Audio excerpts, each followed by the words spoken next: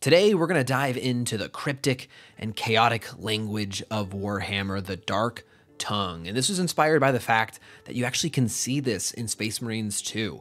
If you're fighting these Thousand Sons Space Marines, you'll notice these floating glyphs around. This is actually the physical representation of this Dark Tongue, which I think is a really cool little detail they added. So as GameSpot pointed out in the video I linked down below, these symbols specifically were seen in Age of Sigmar related to Tzeentch. So makes total sense, Thousand Sons, but it doesn't exactly answer what these symbols are. And really what it is is the Dark Tongue, it's the language of chaos, but it's more than just words.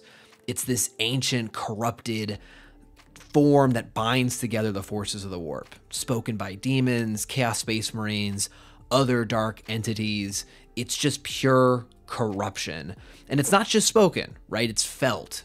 Each word kind of carries this weight, invoking terror, madness, power. And I really love that you can actually physically see it here, right? So for the followers of chaos, when they speak in the dark tongue, it can summon demons, warp reality, tear the fabric of space time but it's dangerous. The more you use it, the more you become tied to these entities. So there's a price, as with all things chaos.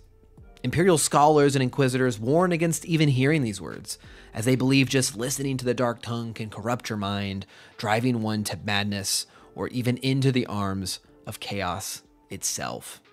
The dark tongue represents this temptation, power beyond comprehension, but at the cost of your soul, as do all things chaos. I think this is a great little detail to add to the game. Shows the developers really love the property. I, chaos is so mysterious, so creepy, and just just little things like their followers having these runes around them. I think is a small touch that just makes the game world feel lived in. It feels true to the source material. Really well done. Let me know what you guys think of this little detail down below. What else do you want to learn about Warhammer? Let me know down in the comments.